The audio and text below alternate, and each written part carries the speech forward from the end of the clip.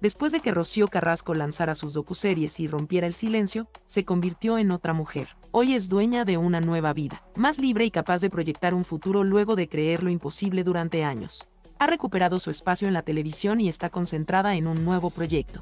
La hija de Rocío Jurado buscará cumplir la promesa que lanzó en la emisión de En el nombre de Rocío, apuntando que su padre, Pedro Carrasco, merecía tener una tira en la cual se lo honre y se repase su vida.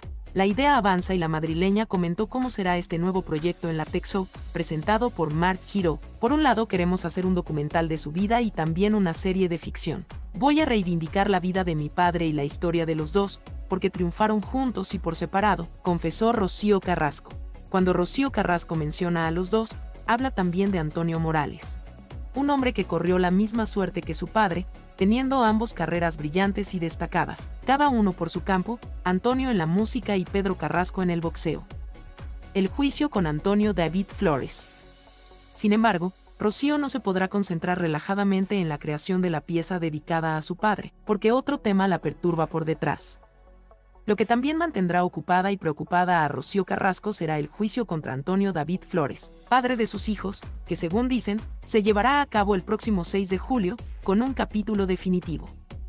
Rocío Carrasco demandó a su exmarido por esconder su patrimonio a fin de no pagarle la suma de 60 mil euros que debía abonarle por el impago de una pensión de sus hijos. La defensa de Rocío pide una pena de cuatro años de prisión y como vemos, este 2023 será bastante cargado para la mediática.